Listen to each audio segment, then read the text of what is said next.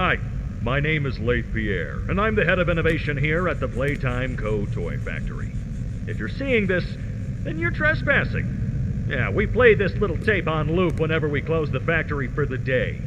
So, trespasser, just to make you aware, while we pride ourselves primarily on our high quality toys and excellent child care, we also pride ourselves on our security. For example, this facility is full of hidden motion triggers, which, once set off, we'll turn on the factory's emergency alarms and directly contact the authorities. And that's one of the more tame aspects of our security system. No spoilers. So, you've got my warning. It's not too late to turn around.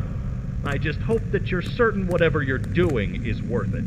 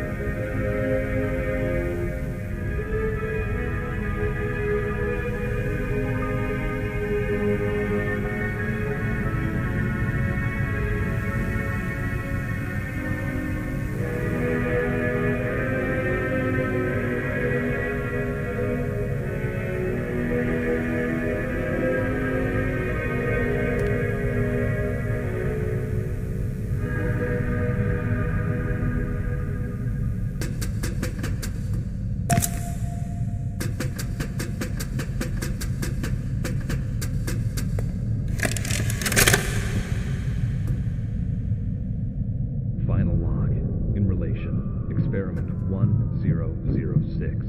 The prototype. Coordination and cooperation is evidently within his skill set, as well as the skill set of all other experiments of his type. Though still missing, today's events are no doubt in relation to him. His absence was a flaw in the scientific process, which should have under no circumstances been left unaccounted for. That's why I'm making this log, so that the same mistake won't be made twice. Future experiments will need to be contained and disposed of in a secure location. I'm not worried about myself. One breakthrough and I'll be back. We must forge onwards in the name of science, whether those who are beneath us understand it or not. End of.